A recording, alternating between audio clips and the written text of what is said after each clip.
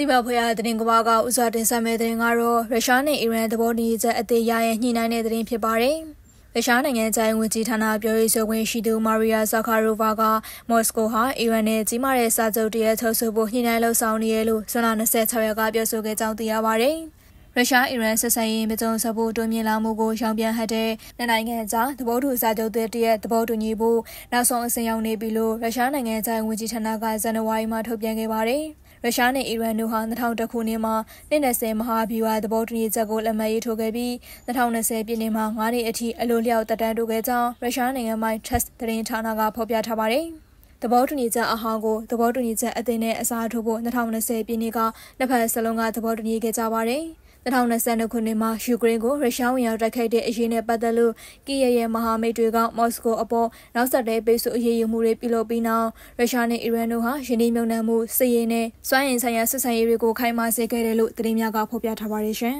။ဆလတ်တင်ဆက်မဲ့တဲ့ငါတော့ရုရှားဟာကုလသမဂ္ဂအလုပ်ရဲ့အခြေခံမှန်နိုင်အဖြစ်ရှိနေကြောင်းအန်တိုနီယိုဂူတာရက်စ်ပြောကြားတဲ့သတင်းဖြစ်ပါတယ်။ ရုရှားနိုင်ငံဟာကမ္ဘာကုလသမဂ္ဂရဲ့လုပ်ငန်းဆောင်တာများတွင်အရေးပါသောမန်နယ်တစ်ခုအဖြစ်ဆက်လက်တည်ရှိနေကြောင်းကုလသမဂ္ဂအထွေထွေအတွင်းရေးမှူးချုပ်အန်တိုနီယိုဂူတာရက်စ်က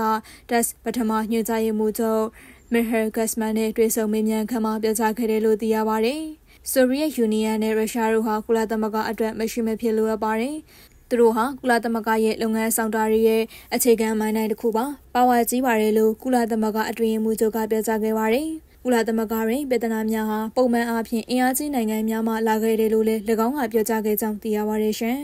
။ထမန်ဒီဆမဲသတင်းကတော့အစ္စရေးနယ်တပ်ခရန်အသင်းရှိကြောင်းပါလက်စတိုင်းများပြောကြားတဲ့သတင်းဖြစ်ပါတယ်။အစ္စရေးကလက်ဘနွန်နိုင်ငံရှိဟစ်စဘိုလာအဖွဲ့ကိုစစ်ပွဲဆင်နွှဲခဲ့မယ်ဆိုရင်အစ္စရေးကိုတိုက်ခိုက်ရန်အသင်းရှိကြောင်းလက်ဘနွန်နိုင်ငံမှာပါလက်စတိုင်းများကပြောကြားခဲ့တယ်လို့အဂျာဇီယာမှဖော်ပြခဲ့ကြောင်းသိရပါတယ်။ လက်ဘနွန်နိုင်ငံတွင်ခိုလုံနေတဲ့ပါလက်စတိုင်းများဟာဂါဇာဒေသအားအစ္စရေးရဲ့တိုက်ခိုက်မှုကိုဒေသကြီးဖြင့်စောင့်ကြည့်နေကြခြင်းဖြစ်ပြီးလက်ရှိတွင်လည်းအစ္စရေးနဲ့ဟစ်စဘိုလာအကြားအပြန်အလှန်တိုက်ခိုက်မှုများကြောင့်တင်းမာမှုများမြင့်တက်လျက်ရှိပါတယ်။ဂါဇာဒေသကိုအစ္စရေးကဝင်ရောက်တိုက်ခိုက်ခဲ့ခြင်းကလေးကဟစ်စဘိုလာအဖွဲ့ဟာအစ္စရေးကိုတိုက်ခိုက်မှုများပြုလုပ်ခဲ့ပြီးဂါဇာတွင်အစ္စရေးရဲ့တိုက်ခိုက်မှုများကြောင့်လူပေါင်း3900ကျော်သေဆုံးခဲ့ကြောင်းသတင်းများကဖော်ပြထားပါတယ်ရှင်။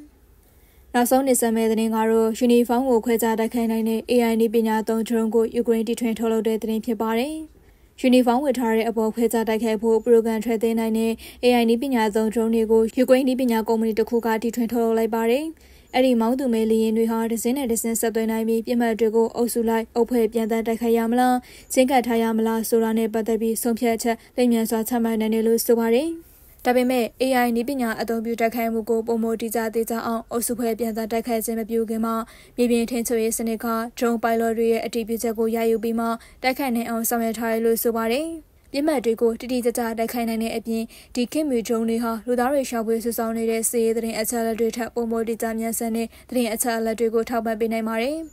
အဲ့ဒီ drone တွေကိုစစ်မြေပြင်မှာတပ်ဖြန့်ချထားပြီးတာနဲ့ရုရှားတပ်တွေကိုရင်ဆိုင်တိုက်ခိုက်ရမှာယူကရိန်းနိုင်ငံအတွက်စစ်ရေးအရာတည်တည်တသားအကျိုးအမြတ်ရရှိနိုင်မယ်လို့ခန့်မှန်းထားကြောင်းသတင်းများကဖော်ပြပါတယ်။ယူကရိန်းနိုင်ငံဟာ drone စစ်စင်ရေးတည်တံ့ဆင်နွှဲနိုင်အောင်ကမ္ဘာပေါ်မှာပထမဦးဆုံးနိုင်ငံအဖြစ်တည်တံ့ drone တစ်ဖွဲ့တစ်ဖွဲ့ကိုအခုနှစ်အစောပိုင်းကစတင်ဖွဲ့စည်းခဲ့ကြောင်းသိရပါတယ်ရှင်။